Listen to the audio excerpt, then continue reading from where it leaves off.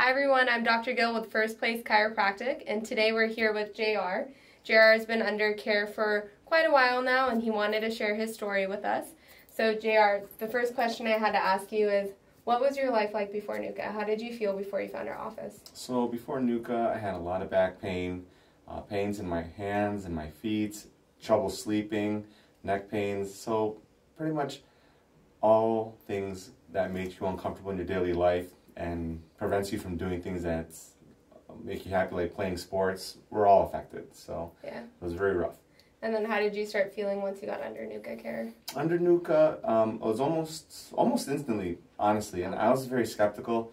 Um, I started, my back started, didn't hurt as often, my hands, my grip was a little bit better, mm-hmm. and uh, it was tough still sleeping because I had to make adjustments to that of how I slept, but it definitely made a big difference. Awesome. And you were able to get back to playing sports. I know you like playing sports. Yeah. What are your sports that you like playing? Yeah, I play basketball, softball, um, golf, and awesome.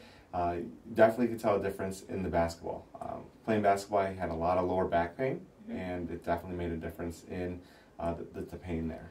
Oh, awesome. And then, so what would your life be like if you never could get a NUCCA adjustment again? Um, it would be it would be a big adjustment, obviously, because there, would be a lot of pain. Uh, I was a big skeptic of the whole thing. I did yeah. a lot of research and considered a regular uh, chiropractor, mm-hmm. and um, through the non-invasive um, procedures that you guys do, it actually yeah. made a huge difference, and I liked it. I liked it a lot. Awesome, that's awesome. So, JR, we love to help people just like you. So, would it be okay if we share this story online? Of course. Awesome. Well, thank you so much. Thank you.